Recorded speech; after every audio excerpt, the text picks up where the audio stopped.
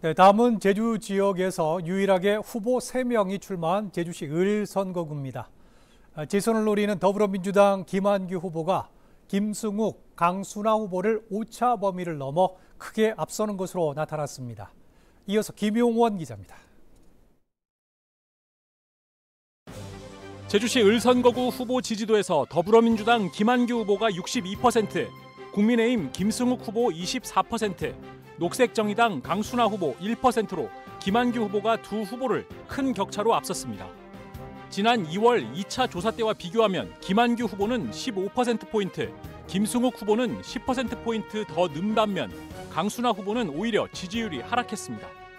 연령별 지지도에서 김한규 후보는 30대부터 50대까지 70% 이상의 높은 지지를 얻는 등 청년층과 60대까지 고른 지지를 받았고 김승욱 후보는 70세 이상에서만 앞섰습니다.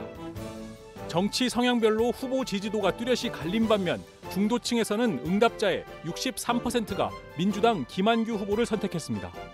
지지 여부와 무관하게 누가 당선될지 묻는 질문에 더불어민주당 김한규 75%, 국민의힘 김승욱 12%로 두 후보 간 격차가 60%포인트 이상 크게 벌어졌습니다.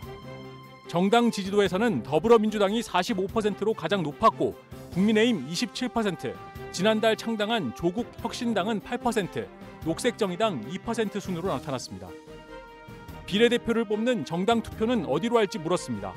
민주당의 위성정당인 더불어민주연합이 29%, 국민의힘 위성정당인 국민의 미래 26%였습니다. 조국 혁신당은 23%의 지지를 얻으며 새 정당 모두 오차 범위 내에서 접전 양상을 보였습니다.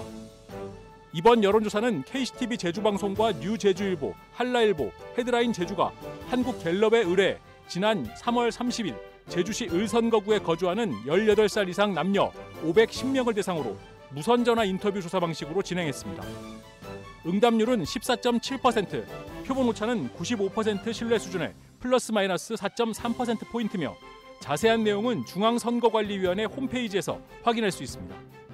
KCTV 뉴스 김용환입니다.